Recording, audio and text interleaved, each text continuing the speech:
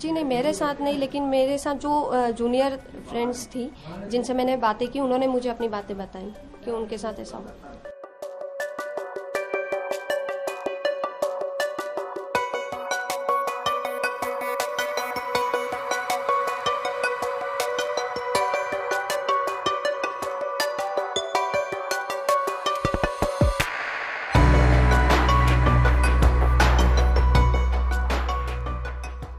वो लोग अधिकतर वैसे रैगिंग बाहर ही करते थे कैंपस के बाहर ही करते थे लेकिन कभी कभी कैंटीन में आते थे तो लोगों से नाम पूछना लड़कियों से और थोड़ा बहुत बोलना कुछ।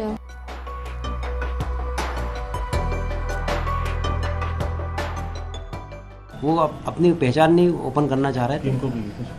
कंप्लेंट की थी उनने दिल्ली जो रैगिंग की हेल्पलाइन है उस पर की थी यूजीसी की। कि हमने चार लोगों की टीम बनाई, जिसमें ये शालिनी भी थी, सत्यजीत थे और अन्य भी सिपाही हवलदार थे उसमें। पता नहीं चल रहा था कि कौन आरोपी है और क्या फरियादी कौन है।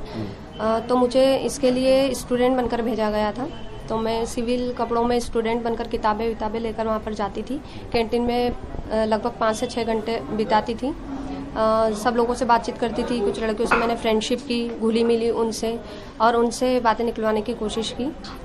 तीन चार लोगों के नाम मैंने उनके सामने जान कर लिए ताकि वो मुझे अपने बारे में कुछ बताएँ कि यहाँ पे कौन रैगिंग करता है क्योंकि आ, कोई बताने के लिए तैयार नहीं था। सब लोग डरते थे कि किस हिसाब से हम कहें किसका नाम ले, ले,